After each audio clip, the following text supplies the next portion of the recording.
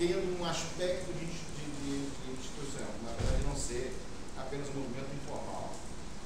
Uh, essa, essa, a proposta da gente sempre foi defesa, defesa da liberdade na rede, uh, preocupa sensivelmente essa questão do CGI, porque a gente já percebeu claramente que tem quatro arenas que estão acontecendo os ataques à internet livre, que é a arena legal, que a gente conhece as legislações que estão acontecendo, Santa Zeredo, ACTA,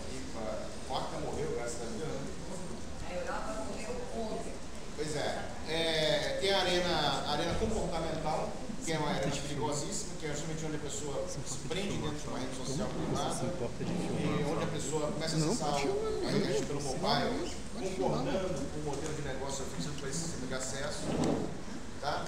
Tem a arena a, técnica, que é onde existem questões de controle de, de, de pacotes, traffic shape e outros bichos mais. E tem a arena de governança, que é a arena que envolve o CGI. Certo? É uma questão muito importante você ter. É, é, acho que precisa, é, seria redundante afirmar a importância do CGI nesse contexto.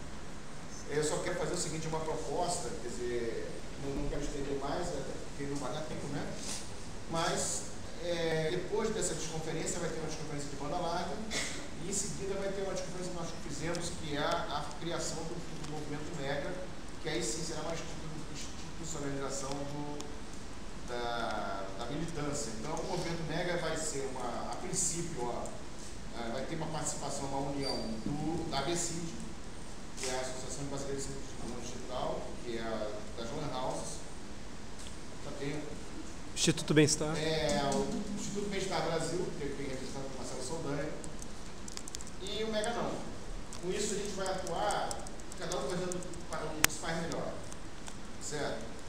Porque você tem, dentro de cada instituição, de cada movimento que nós temos aqui, você tem sempre pessoas que são as articulações políticas, pessoas que fazem, ah, ah digamos assim, mobilizações sociais, e você tem outras pessoas que cuidam da parte administrativa, então você acaba tendo uma redundância de atividades. E acho que o momento é o momento de se unir e trocar informações e, e, e, e compartilhar as causas. Muitas vezes a, a, começa a, vários movimentos começam a fazer a mesma ação, quando poderia estar fazendo uma única ação com um potencial de, de alcance muito maior.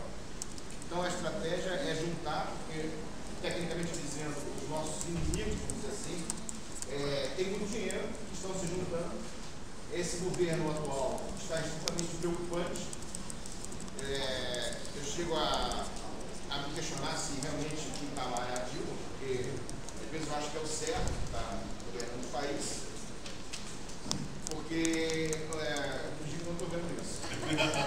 E, porque essas políticas retrógradas, tanto no Ministério de Comunicações, no Ministério da Cultura e, e também nos ministérios dos Supremos Tribunais Federais, é, posições parecidas. O presidente da Câmara de Deputados, por exemplo, é quase um chinês, né? é um amante da, da, da censura, do controle. O próprio Marcos Maia fez uma declaração outro dia dizendo que a internet tinha que ter um filtro de conteúdo. Separar a mentira tá da Provavelmente foi ele que fez a votação da lei Dickman acontecer. E é uma vergonha nacional você ter uma lei votada porque uma atriz descuidada, ela era descuidada porque era uma pessoa é, ignorante digital, acho que a gente tem que trabalhar mais nessa digital, na culturamento digital. Mandou por e-mail as fotos dela para não sei quem, e aí clicou no scan e dizia, ah, receba aqui o teu salário. E aí, bem, aconteceu o que aconteceu. E a gente paga a conta, né? E aí então, fala que não quer que o filho veja as fotos. É, meio-dia a gente vai estar de volta e a gente prolonga essa discussão. Vamos lá, gente. É, agora é o Saldanha e eu vou para que a gente consiga manter mais ou menos esse horário,